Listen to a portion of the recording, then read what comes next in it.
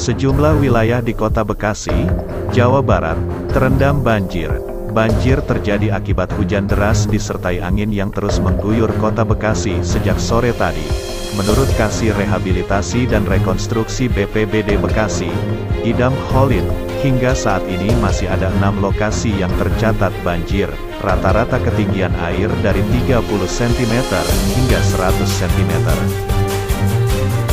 Berikut ini laporan sementara yang terkena banjir. 1. Perumahan Ikip, 95 cm. 2 Kalimalang, Kota Bintang, 100 cm. 3. Narogong, 50 cm. 4. Pondok Cinta, 30 sampai 40 cm. 5. Perumahan CKP, 40 sampai 50 cm.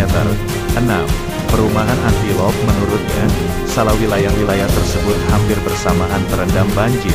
Idam menyebut banjir mulai dilaporkan pada pukul 17.15 waktu Indonesia Barat. Sementara itu, sebagian komplek Bumi Satria Kencana, Jalan Satria Raya, air menggenang dengan tinggi 40 cm atau sebetis orang dewasa. Sejumlah pengendara motor terpantau memilih memutar balik.